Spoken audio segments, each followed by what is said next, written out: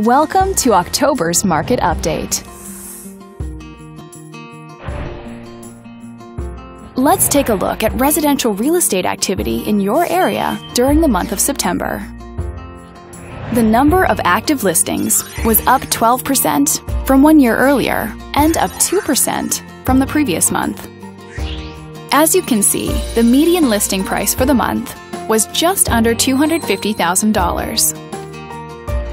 Compared to last year, the average number of days that units spent on the market before being sold was up 10%. The median sale price was $180,000. The number of units sold decreased 17% year over year and decreased 27% month over month.